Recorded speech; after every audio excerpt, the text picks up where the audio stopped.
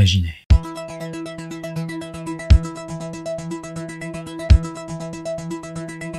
Terminez votre carrière en étant le plus grand joueur des années 90 et le recordman du nombre de titres en Grand Chelem, 14. Vous finissez 6 fois d'affilée numéro 1 mondial. Au crépuscule de votre gigantesque carrière, à peu près tout le monde s'accorde à dire que vous êtes le GOAT. Et puis 10, 15 années passent. Federer, Nadal, Djokovic, le Big Three vous a tout pris. Votre légende, vos records, tout s'est envolé. Avez-vous laissé une trace dans ce sport? Vous-même commencez peut-être à en douter. Le ralentissement des surfaces est imposé partout et votre style de jeu hyper offensif n'existe plus que dans des highlights en 480p que même nos darons ne regardent plus. Plus qu'aucun autre champion de l'histoire de ce jeu, vous subissez de plein fouet cette culture de l'instant qui gangrène notre époque. Vous êtes Pete Sampras et il est grand temps de vous redonner le statut que vous méritez.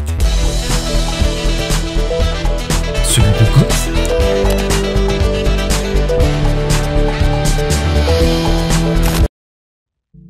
Installez-vous confortablement, mettez-vous un petit café en backup ou autre chose. L'histoire commence en 1985 en Californie. Pete Sampras a 14 ans et il fait partie de cette nouvelle vague prometteuse de jeunes talents américains. À cette époque, trois coachs se partagent son développement, le légendaire Robert Lansdorp s'occupe des coups de fond de cours, à Del Little de prendre en charge le jeu de jambes et à l'intrigant Pete Fisher de gérer le service et les expérimentations. L'anecdote est bien connue, c'est durant cet été 1985 que Fisher propose à Sampras de changer son revers pour le jouer à une main. Le pari paraît complètement insensé, mais Fischer impose sa patte, convaincu que Sampras peut devenir l'un des plus grands attaquants de l'histoire de ce jeu, et pour attaquer, il lui faut ce revers. Le véritable objectif est plus fou encore. Modeler exactement Sampras à l'image de Rod Lever, dont Pete Fisher est un fan absolu. Sampras gardera un souvenir ému de ces après-midi entières passées à regarder des cassettes de Lever dont la qualité de déplacement le fascine. Et peu importe, si Fischer est un pédiatre de profession et que son expérience du tennis est très limitée, Sampras confie son destin tout entier à la vision hallucinée de son mentor. Dans un premier temps, évidemment, les résultats sont en chute libre. Mais Sampras s'accroche et sans le savoir, il est en train de façonner ce mental en titane qui deviendra l'une de ses signatures chez les pros. Les mois suivants, il frappe des milliers de coups avec Lansdorp, travaille sans relâche son service pour rendre son lancer illisible. Brique après brique, il bâtit un jeu de plus en plus complet. Un jeu très porté vers l'avant, certes, mais avec de sérieuses bases sur la baseline, ce qu'il ne manquera pas de prouver à de nombreuses reprises face à son rival historique, André Agassi. Tiens donc, c'est justement Dédé qu'il retrouve en finale de son premier majeur à l'US Open en 1990. Plein d'insouciance et à 19 ans, il devient le plus jeune vainqueur de l'histoire du tournoi, l'un des rares records qu'il détient encore aujourd'hui. Mais plutôt que de le galvaniser, cette victoire va le plomber. Smiley Pete découvre le poids des attentes de tout un pays alors que la génération McEnroe est en train de s'éteindre à petit feu. Quand il revient à Flushing l'année suivante, il confie même son soulagement aux journalistes après avoir perdu en quart de finale contre Courir.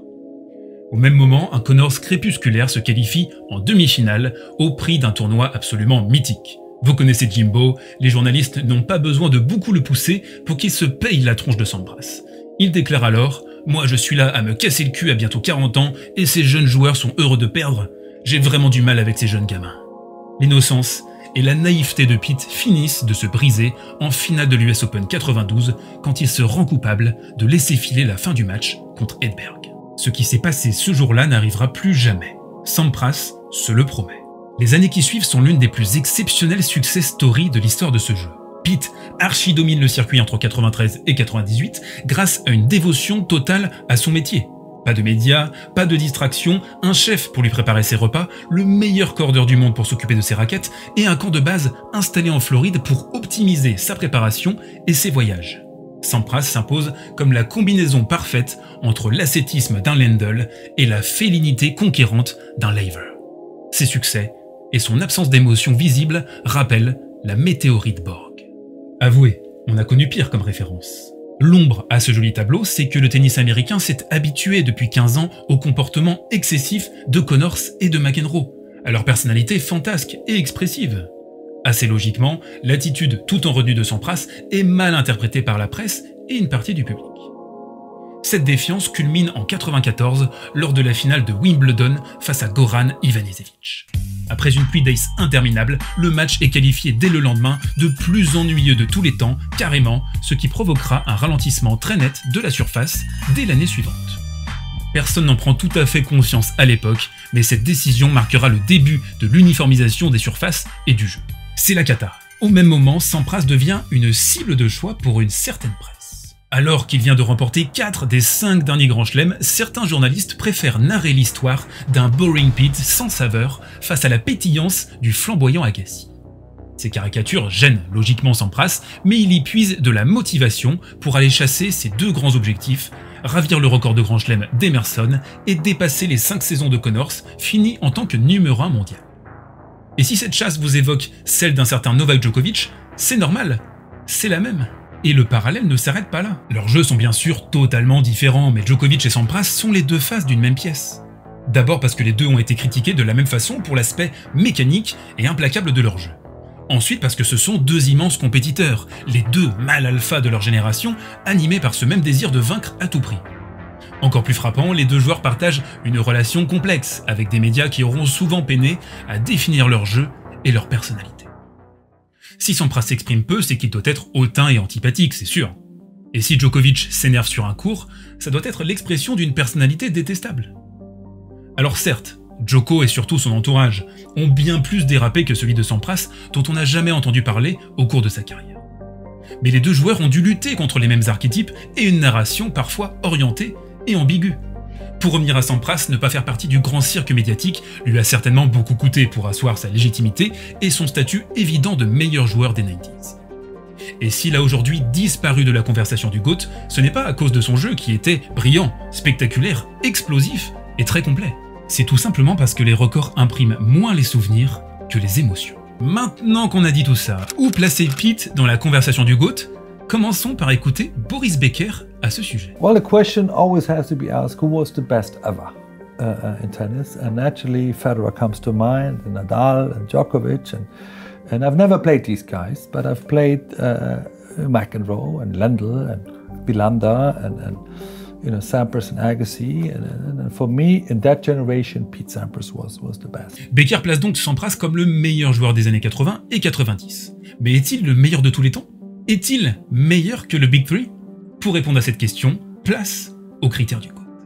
Ce que le joueur a apporté au tennis, au jeu dans son ensemble.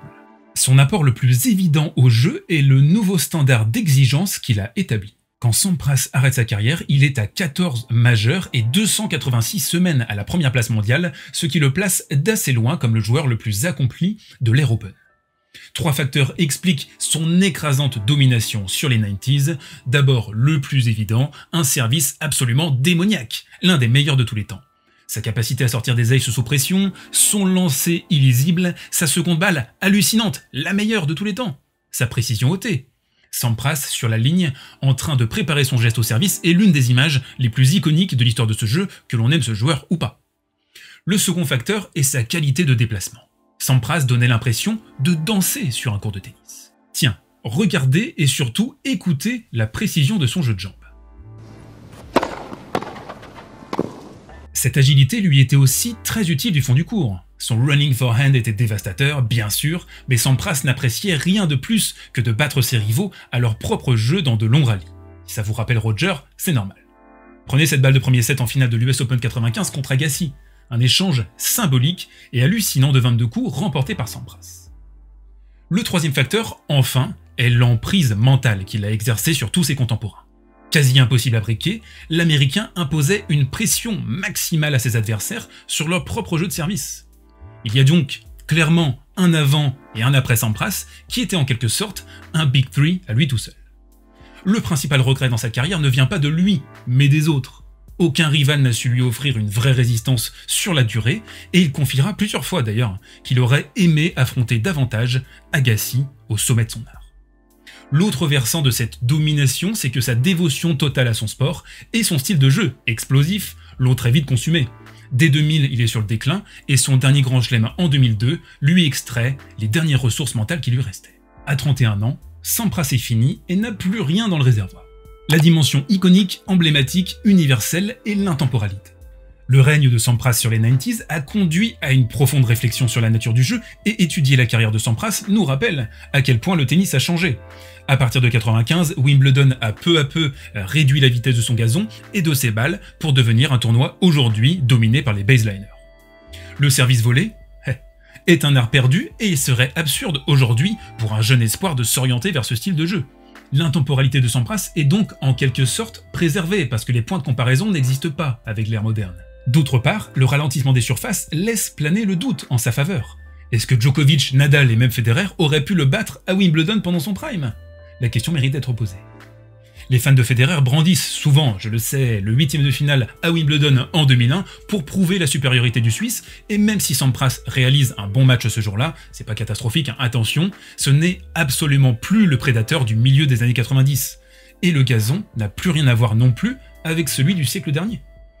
A noter également que le match-up le plus difficile pour Sampras était d'affronter des joueurs qui jouaient comme lui, qui le privaient de temps. Krajicek et Ivanisevic par exemple. Au contraire, Jouer des baseliners agressifs comme Agassi lui plaisait davantage, et c'est le style de jeu le plus commun aujourd'hui. Alors, est-ce que Sampras serait toujours aussi dominateur sur les cours d'aujourd'hui? Avec sa pro-staff Otami ridicule, à laquelle il s'est accroché bien trop longtemps, ce serait compliqué. Mais si on envoyait le Big Three faire un petit voyage dans le temps vous pensez sincèrement que Prime Sampras ne serait pas favori contre eux sur le gazon de l'époque et sur Moquette Indoor? Pour ce qui est de la dimension iconique, Sampras aura légué à la postérité deux matchs titanesques, la finale du Masters à Hanovre en 96, qui est largement considéré comme le meilleur des 90s, et comment ne pas mentionner le quart de finale à l'US Open en 2001 contre Agassi, le chef-d'œuvre absolu de ce duo légendaire. Le côté révolutionnaire, le renouvellement au cours de sa carrière. Début 2002, et alors que sa carrière semble en perdition, Sampras décide de se séparer de Paul Anacone et s'octroie les services de Rosé Higueras, l'ancien coach de Jim Courier. Higueras propose immédiatement à Sampras de changer de raquette alors qu'il utilise la Wilson Pro Staff originale depuis ses débuts. Cette raquette est un vieux modèle du début des années 80 qui ne pardonne aucun décentrage, mais Sampras s'y accroche, convaincu qu'il est trop tard pour changer de matériel. Il refuse la proposition d'Higueras. L'ironie du sort, c'est que Federer, 14 ans plus tard, aura la même décision à prendre, et lui, il optera pour un tamis plus grand, ce qui lui permettra de remporter trois grands chelems supplémentaires. En termes de renouvellement et de longévité, Sampras est donc à des années-lumière du Big Three. Mais est-ce que vous pensez qu'il aurait agi différemment si un ou plusieurs de ses rivaux avaient été en mesure de contester ses records alors qu'il jouait encore? D'autre part, et jusqu'à très récemment, un joueur de tennis était considéré comme fini une fois la trentaine passée. Si certains grands champions comme Connors ou Laver ont tutoyé la quarantaine, la norme était plutôt de s'arrêter dix ans avant. Autre point très important, si vous observez le Big Three, chacun de ses membres a connu au moins un énorme trou d'air dans sa carrière. Mais les trois sont repartis, portés par une émulation commune. Sampras, lui, a joué toute sa carrière contre les fantômes de Roy Emerson et Jimmy Connors. Une fois ses objectifs atteints, rien n'a été en mesure de pouvoir le faire repartir. Sur le pur plan technique, Pete était un joueur très élégant, hormis peut-être cette préparation anguleuse en coup droit. Sa volée très tranchante et sa fluidité de déplacement en ont fait un poster boy incontournable des 90s. Mais la vraie révolution est indirecte. Ce sont ses nombreux succès, surtout, qui ont poussé les organisateurs de tournois à ralentir les surfaces de jeu pour aboutir progressivement au tennis que l'on connaît aujourd'hui. Difficulté des exploits, quelle concurrence c'est une évidence, mais rappelons-le quand même pour les plus jeunes d'entre vous, dans les années 80 et 90, beaucoup plus de joueurs remportaient des majeurs. Le niveau était incontestablement plus homogène. On l'a dit, la différence entre les surfaces était aussi plus marquée. Sampras n'aura ainsi jamais fait mieux qu'une demi-finale à Roland Garros en 96. Une année en plus où il est totalement à court de préparation et où il porte le deuil de son coach, Tim Gullickson. Son jeu n'a jamais fait mouche sur la surface, un mélange, je pense, d'allergie naturelle, de motivation aléatoire et de limitation technique, hein, tout simplement. Du coup, si on devait ressortir une performance dans la carrière de Pitt, ce serait d'avoir su établir une domination à Wimbledon dans des conditions extrêmes. La vitesse de la surface demandait une concentration de mutants et la moindre micro-défaillance pouvait faire basculer une rencontre.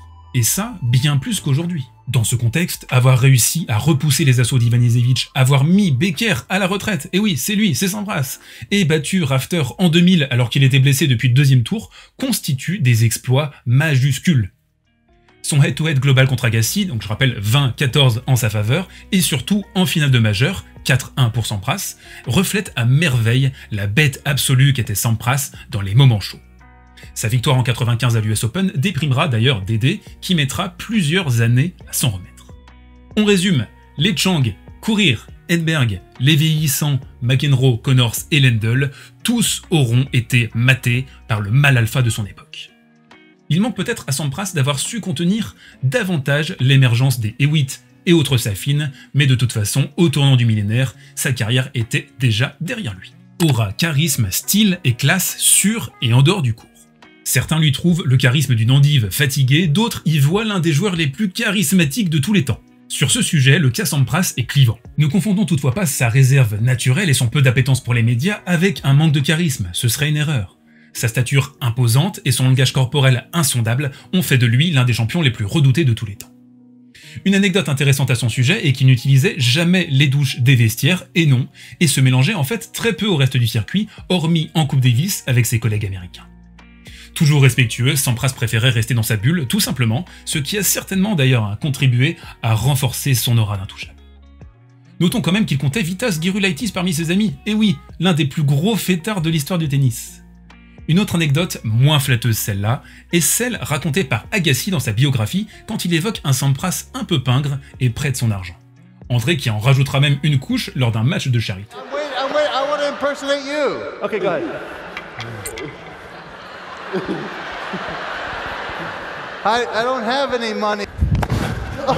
Ah bah sympa le Dédé, merci. Doté d'un humour pinçant à la Lendl et élevé dans le culte de la discrétion, Sampras préférait en fait laisser parler sa raquette plutôt que de se lancer dans des punchlines stériles en conférence de presse. Enfin, l'une des grandes leçons de sa carrière aura été de comprendre avec le temps que rien ne comptait davantage que de gagner des matchs. Et avouez qu'à ce petit jeu-là, le mec n'était pas trop bon. Si vous avez regardé cette vidéo jusqu'ici, c'est que vous faites partie de ceux qui savent que le tennis n'est pas né en juillet 2003. Bravo à vous L'impact de Sampras sur le tennis moderne est considérable et ses exploits en font l'un des plus grands de tous les temps, c'est incontestable. Federer et Djokovic se revendiquent de son influence et il représente effectivement une sublimation de ses caractéristiques.